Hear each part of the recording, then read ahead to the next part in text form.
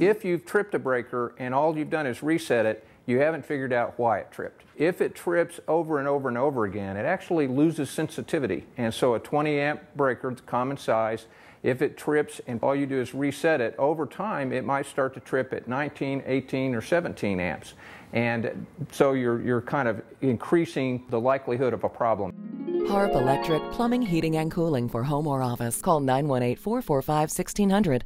Harp.